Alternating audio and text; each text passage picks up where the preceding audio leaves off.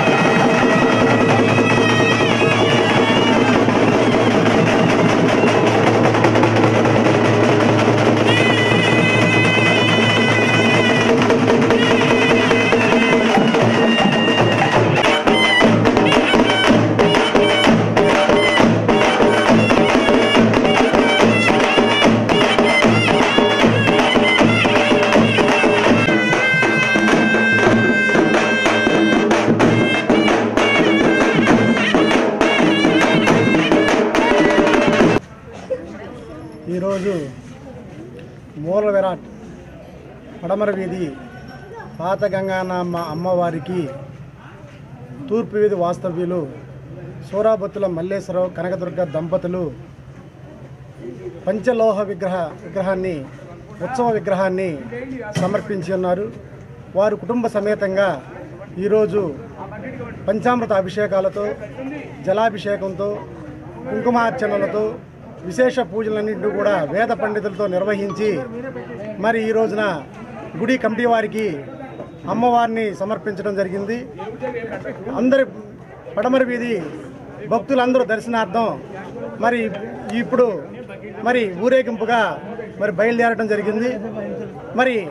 విక్రమ ఇచ్చిన దాతలకు మరి ఆయురారోగ్యాలతో అష్టైశ్వర్యాలతో సుఖ సంతోషాలతో పిల్ల పాపలతో నిండు నూరేళ్లు ఆయురారోగ్యాలతో వర్దిల్లాలని మనస్ఫూర్తిగా కోరుకుంటూ సెలవు తీసుకుంటాం